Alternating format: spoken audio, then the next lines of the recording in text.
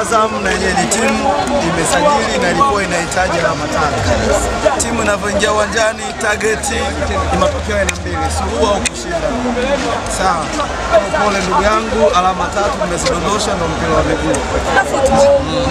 Beyara, nadhani Yanga leo walikuwa wapi bwana udhaifu pengine mpaka hata Messi akafanikiwa kuibuka na ushindi mbili moja. Yanga alikuwa anasonga, alikuwa amefunga.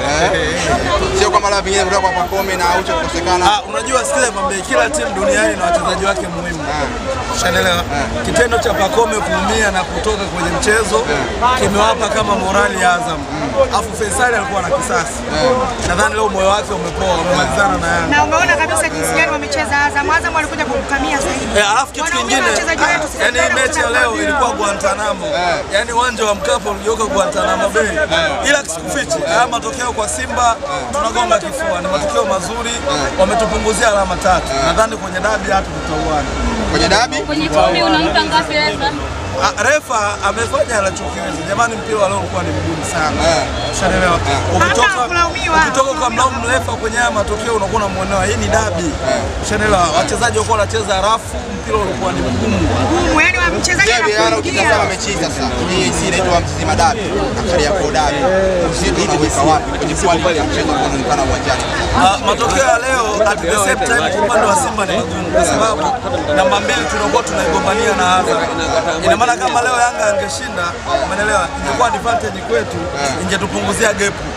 Lakini Azam kashinda, na maana bado nafasi ya pili na vita. Yanga bado anaongoza ligi. Umeelewa vizuri? Yanga bado anaongoza ligi na tusijipe imani ya asilimia mia kwamba tayari Yanga tumemkaribia.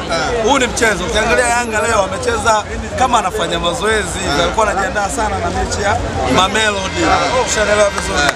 Kwa haya matokeo ya leo situaminishe kwamba tumemaliza game, bado ligi bado ni marathon. Ushanaelewa? Haya matokeo ya Azam jamani, narudia tena, kwa Simba ni negative kwa sababu Azam bado anatukimbiza, tunamwacha pointi ndogo sana. Ushanisoma eh.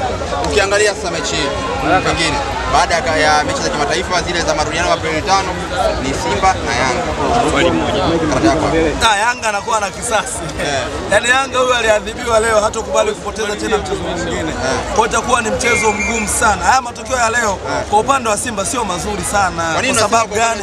Tutakutana na Yanga aliyejeruhiwa anza akalipa kisasi, ukaja ukamsimama mnala mwingine. Alafu pili, quality ya Azam na Simba ni tofauti. Azam amesajili vizuri. Azam wana wachezaji. Ukimwangalia quality ya Feitoto, Kipre Junior, ukimwangalia Sila huwezi kumfananisha na mchezaji wa Simba. Kwa hiyo niseme tu Azam, Azam wana timu na quality yao ndio imepelekea matokeo ya leo kwa Yanga. Yeah. Kila.